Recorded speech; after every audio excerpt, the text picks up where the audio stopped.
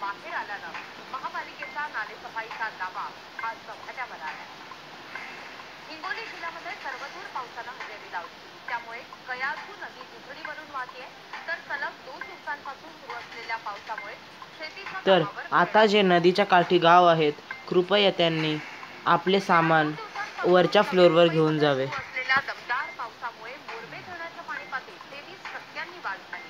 त्यामुळे नवी मुंबईकरांवरील पाणी कपातीचं संकट टळले बातमी बदलापूरची आहे बदलापूरमध्ये उल्हास नदीचं पाणी शहरात घुसलंय. रमेशवाडी बॅरेज रोड केंद्रेपाडा या भागामध्ये नदीचं पाणी शिरलं असून जवळपास गुडघाभर पाणी साचल्याचं दृश्य आहे.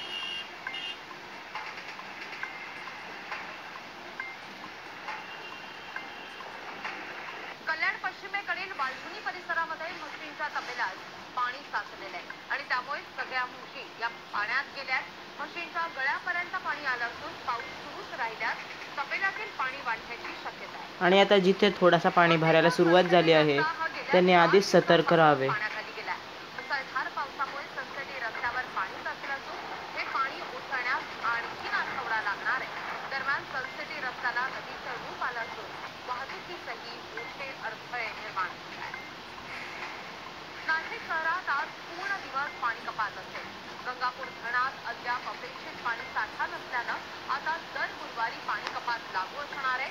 दरम्यान नाशिककरांना पाणी जपून वापरण्याचं आवाहन सुद्धा पालिकेनं केलं नांदेड जिल्ह्यामध्ये पावसाची संततधार सुरूच आहे रिमझिम पावसानं भोकरमधील सीताखंडीचं सौंदर्य खुलल्याचं दिसतंय. सीताखंडीचा निसर्गरम्य परिसर पाहण्याकरता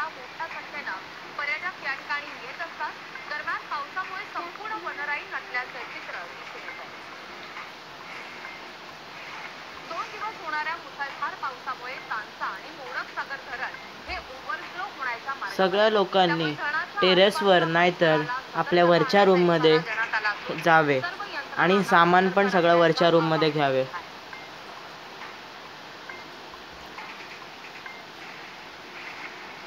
कारण आता पाऊस खूप आहे.